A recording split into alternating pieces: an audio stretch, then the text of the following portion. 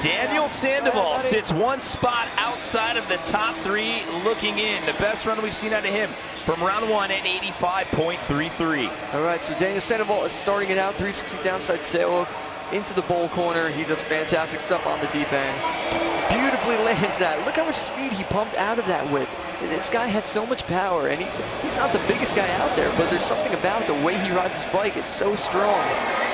A lot of technical moves right there. 360 downside tail to bar spin. He just whiplashed through those corners in quick succession there. Wow, look, he's still going.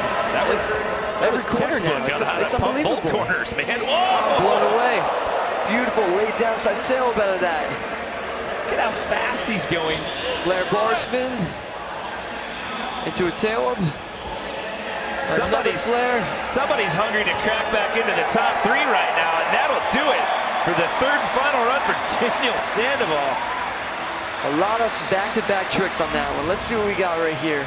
Oh boy, here Here's we the go. 360 whip, and as he catches it, you can see he just kicks it back the other way with one foot. Oh my, perfect. Look at, finds the bike, continues on, and rips around the bowl corners at high speed. Yeah, I mean, he was just slingshotting it. Fast forward through those things. All right, you need an 85.66 or better if you're going to crack into the top three right now. That number three spot held on to by Dennis Enarson. Not anymore. Daniel Sandoval.